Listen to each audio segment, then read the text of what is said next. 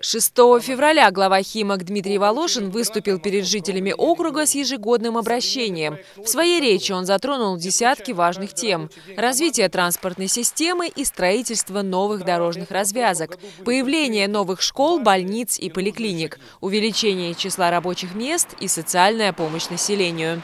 Особое внимание он уделил безопасности на улицах и во дворах муниципалитета. Я много говорю о том, как мы благоустраиваем наш город – но все преимущества даже самого благоустроенного города меркнут, если житель не может спокойно оставить во дворе свой автомобиль или опасается опустить, отпустить своего ребенка на улицу.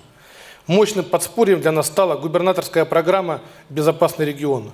За прошедший год мы укомплектовали камерами наблюдения 300 объектов. Среди них школы, подъезды и детские сады. Следующий шаг – установка шлагбаумов во дворах.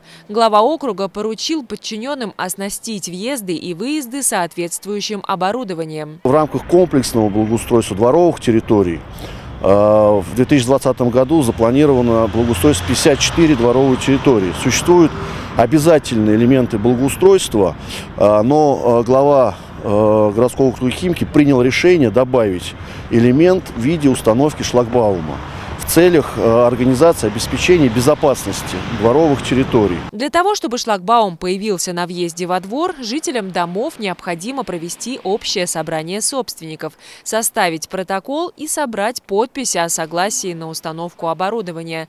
Подробнее о процедуре можно узнать на сайте администрации округа admhimki.ru.